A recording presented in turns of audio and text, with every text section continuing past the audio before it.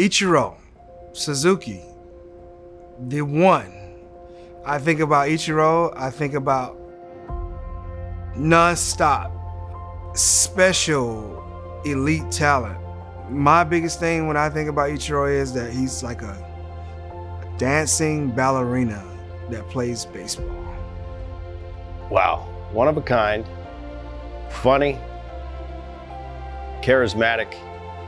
Uh, he's very meticulous, likes his everything clean.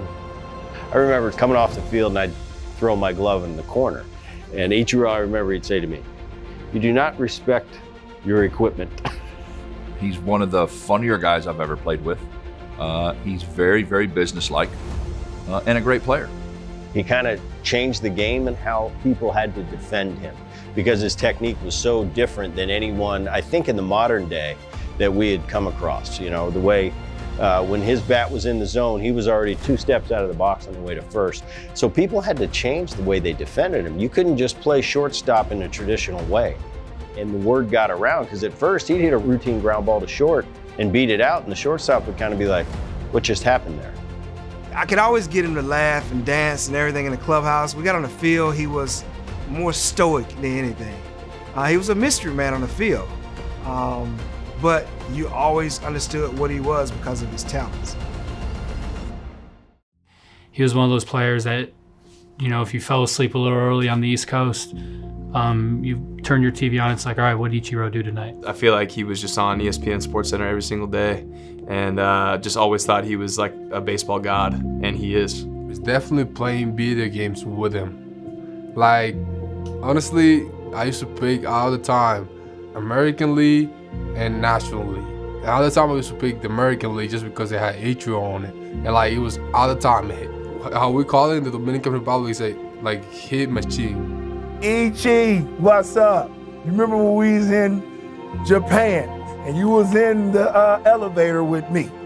And all of a sudden I said, who are you? And you said Ichiro. I said, I don't know who you are. And I really found out who you were when you came to Seattle and the things you start doing with that great hitting ability to hit the ball anywhere you want to. Huh, great career. You'll be in the Hall of Fame soon, buddy. And I'll be right there looking at you, and I'll be right with you. Konnichiwa.